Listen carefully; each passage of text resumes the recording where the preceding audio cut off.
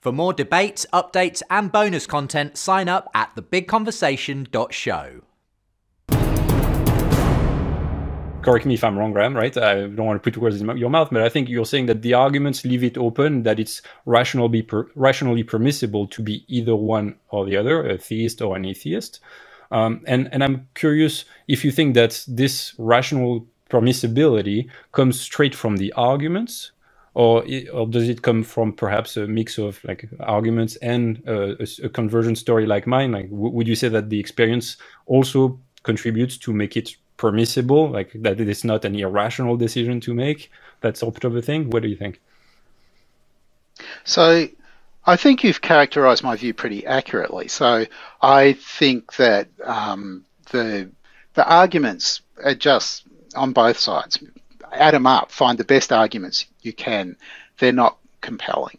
So that is, they don't compel people to arrive at a particular position. The arguments just aren't strong enough.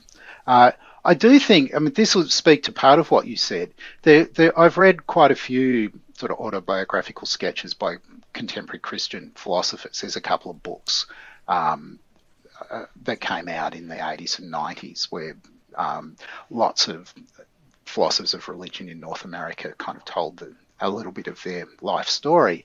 And it turns out that quite a few of those philosophers claim never to have had a religious experience. Right, they're Christian philosophers, but they kind of regret the fact that they never had anything like Pascal's Night of Fire or even anything um, sort of remotely like that. And so I'm, I'm inclined to think that sort of you don't need the experiential foundation in order for it to be rational for you to be a Christian.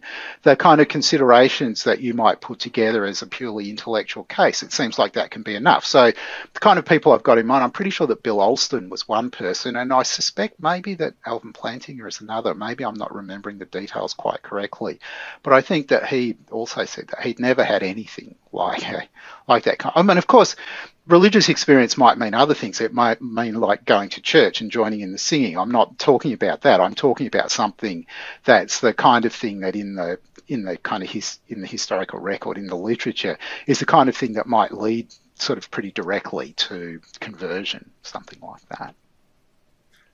Yeah, so, so, in terms of justifying Christian belief, right, on ma making it rationally permissible, uh, so you're you're open to saying that uh, the arguments could do some of that, uh, that an experience could do some of that as well, presumably. Like neither sounds like it's strictly necessary, but they could separately justify Christian belief in the, along the lines that you suggest.